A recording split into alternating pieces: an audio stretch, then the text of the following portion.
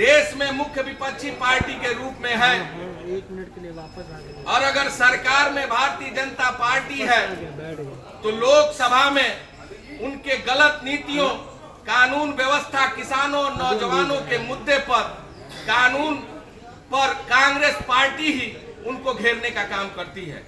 जहाँ तक इस चुनाव में कांग्रेस पार्टी यह चाहती थी कि हम सब लोग विपक्षी लोग मिलकर लड़े कांग्रेस पार्टी के जो हमारे राष्ट्रीय महासचिव और प्रभारी आदरणीय गुलाम नबी आज़ाद जी ने लगातार श्री अखिलेश यादव जी से वार्ता की और उनसे ये कहा कि हम सब मिलकर लड़े, चूँकि देश में मुख्य विपक्षी पार्टी कांग्रेस है, हमारी आप इस चुनाव में मदद करें। लेकिन कहीं ना कहीं समाजवादी पार्टी के अड़ियल रुख के नाते हमारी पार्टी वहाँ मजबूती के साथ LED वाली, मुख्य विपक्षी LED पार्टी के LED रूप में कांग्रेस वहाँ लड़ने का काम कर रही है। और आज अगर आप देखें जिस तरह पूरे देश में जहाँ भी उपचुनाव हुए हैं कांग्रेस ने उन चुनाव को जीता है।